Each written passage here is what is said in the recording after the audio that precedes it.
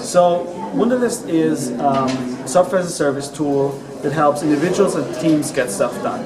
The idea is to revolutionize the way people work on their own with their to-dos or with others, and uh, in a beautiful, simple, elegant way.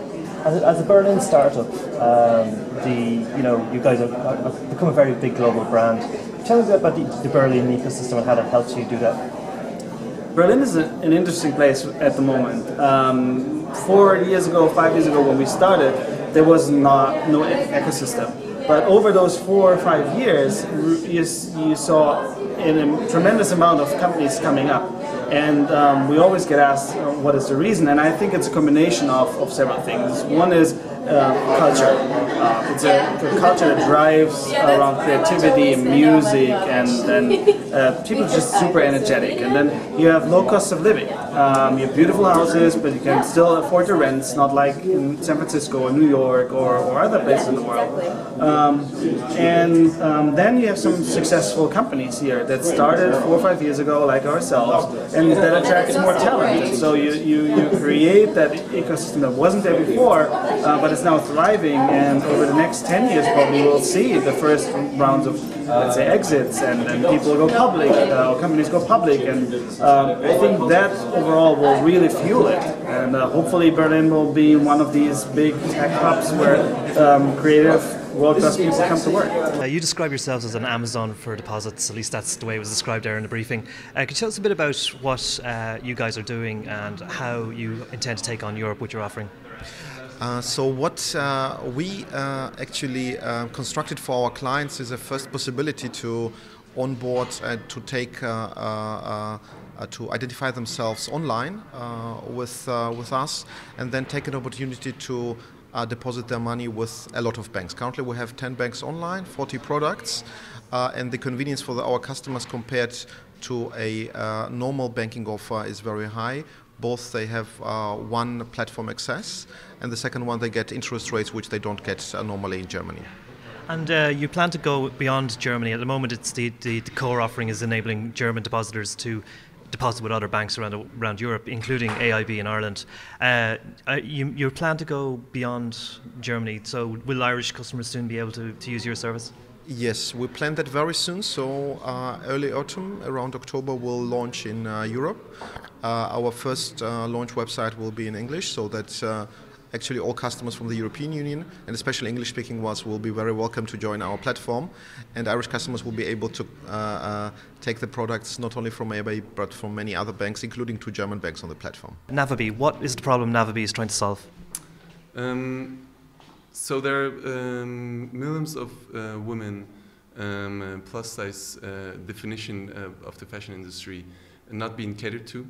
Um, we are a global leader in premium plus size fashion and cater to, um, to a, a, million um, female population globally, serving great fashion, inspiration, advice. And is this an area that's been overlooked by the fashion industry generally? I mean, um, you know, it's, it's, it serves a real need, but, you know, if, if we look at fashion, it's the, the body size is moving to zero rather than 14.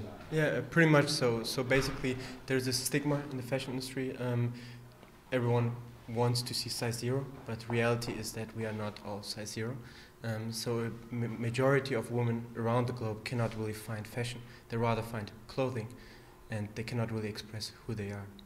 Fashion and food are two biggest growing areas in e-commerce. Would that, would you agree with that? Um, so sure. I mean, when we started uh, six years ago, I remember uh, fashion was not on the top list. I was like, yeah, will fashion work online? And um, I think it proved today uh, already that it is a big thing. And I personally believe food will be also next big thing. You can see it in Silicon Valley, people crazily investing in everything with food tech. Very good. And just in terms of fashion itself, I mean, um, we used to go into stores and buy our clothes. I mean, how comfortable are people generally with actually ordering online? And, and is it a case that you've made it very fluid to return stuff you're not happy with and make it, you know, buy what you want again? Yeah, Actually, um, a very good question. I see it um, on myself also. I buy more and more online because um, I get enabled. I, I can um, return uh, free and I can uh, just order it and it comes the same day or the next day. So it is much easier than before. Hence, I buy more online and once the experience is okay, you don't really need to go offline anymore. Uh, Lucas, uh, One Football. Uh, everybody who loves football knows about One Football in Europe. Tell us about how the company came together. So I founded the company in 2008, and the idea was always to um, deliver the best football content through a mobile device um, for actually all the football fans who have an emotional dependency on that content.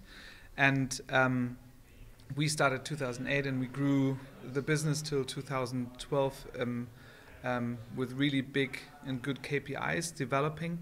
And um, based on that, we were in the position to get institutional money uh, on board from great investors like Earlybird, Union Square Ventures, TPG Growth, Lakestar, etc., to actually build out our vision um, as a product and tech company, understanding the user and building the best product for the user. You, you made a transition from being a, a kind of a, a, a publishing led mm-hmm. company to being more of a product company. Mm-hmm. Um, how was that transition managed? And today, I mean, could you kind of sum up the scale of your user base and, and the, the various devices and platforms it's spread across? Mm-hmm.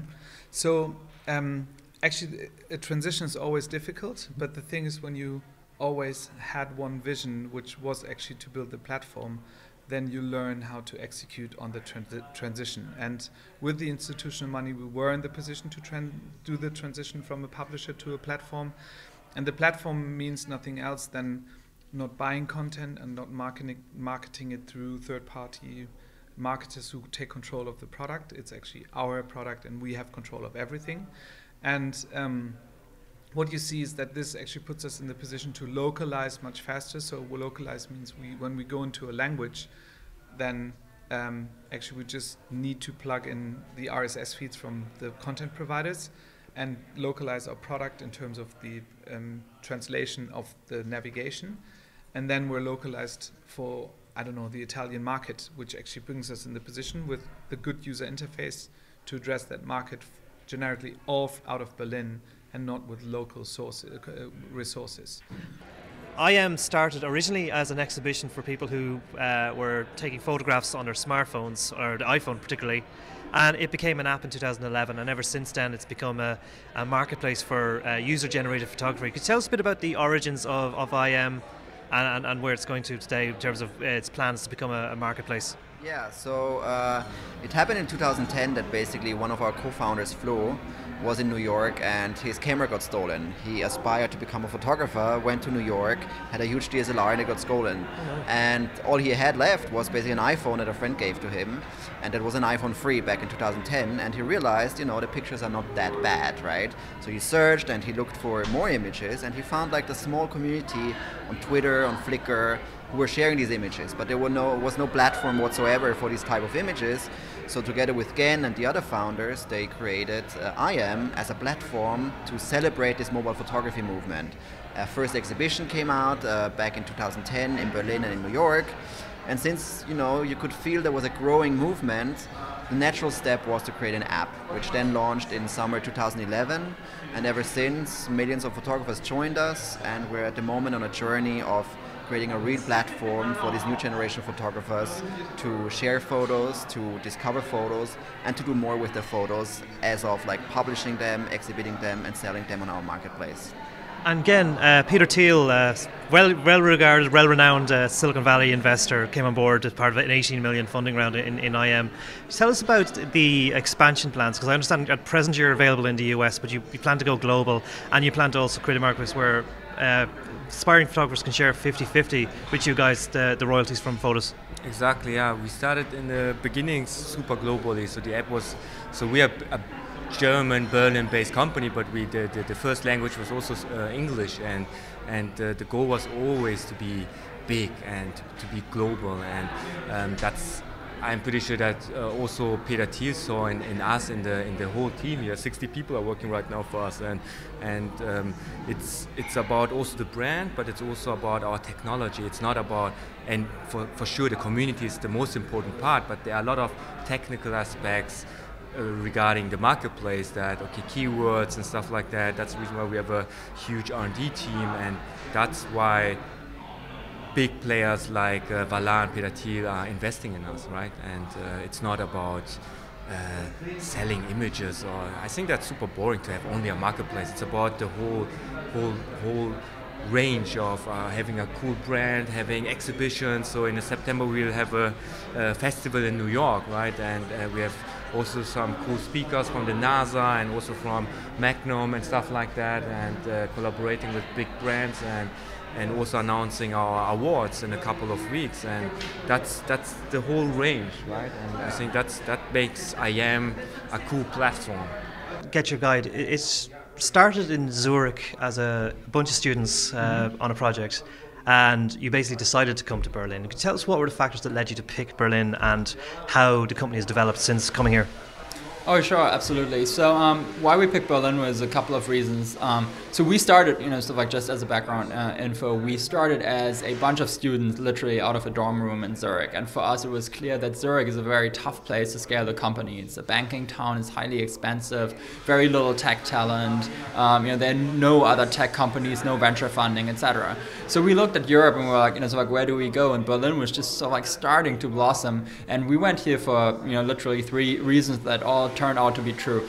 Reason number one was international talent, and I think that's still the most important uh, uh, uh, factor. You know, you can hire anyone from you know like a French-speaking content manager to an English marketeer to an you know sort of like product manager from Silicon Valley. You get them to Berlin. Number two was uh, not to be forgotten cost. Um, you know, so like Berlin is a great, vibrant city, but it comes as, at like half of the price tag as Paris uh, or London. Mm. And uh, number three was venture funding. so Berlin does have a strong ecosystem ecosystem now, a very established ecosystem of VCs, and also the West Coast and East Coast VCs from the US, and even the Chinese venture capitalists now are now coming to Berlin to invest here. And then, last but not least, I would say because of the ecosystem, you also have a lot of other great companies to learn from. And we've actually really very much enjoyed being in touch with the ecosystem and learning from other people. So that's what I would say. Stuff like it's it's talent, uh, it's definitely price tag of the city, which is still moderate, and uh, then ultimately the venture funding. And in terms of like uh, the market you're targeting, it's it's it's not just booking a trip; it's what you do when you get to a destination, mm-hmm. and that's a very interesting market to be in. Um, but one of the things that you, you said quite interesting was that you know the days of us buying Lonely Planet books, printed books, may be over. That we will a younger generation is relying more on apps like yours to to, uh, to you know to figure out what they're going to do when they get to a destination and how to spend their money. Absolutely, um, I totally agree. I think in five uh, to ten years, so five years earliest to ten years latest, we will not have travel guidebooks anymore. Um, there's a tipping point where the production of guidebooks is just not worth it anymore, and we're very close to it.